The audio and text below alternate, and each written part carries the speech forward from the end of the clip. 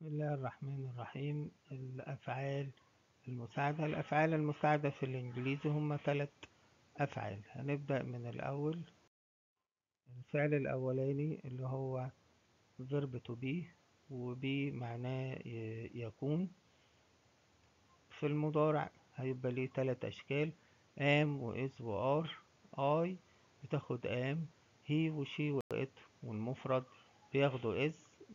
We و you و they والجمع بياخدوا are ال verb to be في الماضي was أو were I و he و she و it والمفرد بياخدوا was we و you و they والجمع بياخدوا were والتصريف التالت been الفعل التاني المساعد verb to do يفعل.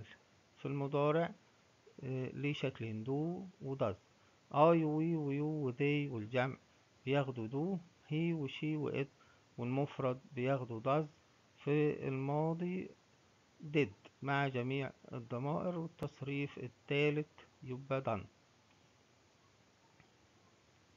بالنسبة للفعل المساعد الثالث اللي هو verb to have معناه يملك.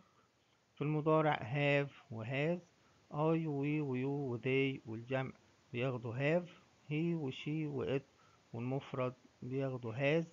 وفي الماضي had مع جميع الضمائر والتصريف الثالث had.